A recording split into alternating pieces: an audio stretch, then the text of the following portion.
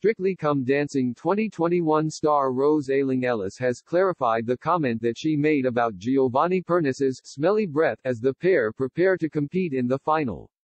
Last Saturday, the couple wowed the judges and viewers at home with two stunning performances in the semifinal, beginning with a waltz before amping up the drama with an Argentine tango. Ahead of their second routine,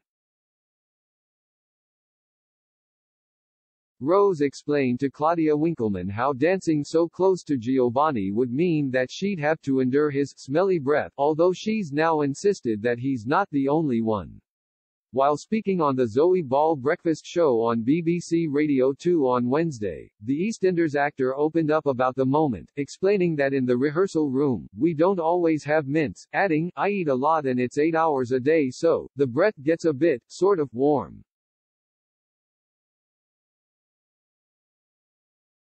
Giovanni then piped in, stating, just to clarify, it's not only me having a smelly breath.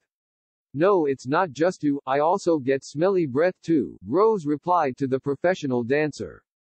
Giovanni continued, saying that it's okay to have smelly breath because the Argentine tango is a passionate dance. We have smelly breath together, his partner added. Aren't these two just the sweetest? Smelly breath or not, the pair rocked their semifinal routines. Scoring 39 for their waltz and a perfect score of 40 for their Argentine tango. In the end, Rhys Stephenson and Nancy Xu landed in the bottom two with John Waite and Johannes Radebe, with the judges voting unanimously to save the latter pair. Just days before the final, it's been reported that AJ Odudu has suffered a foot injury that means she's having to walk on crutches and had to have an emergency scan. Single quote. This is the worst possible timing but AJ is a real trooper and will keep going no matter what. The pain in her foot was terrible, a source said, according to the Mirror. In the final, the couples are due to perform three dances each.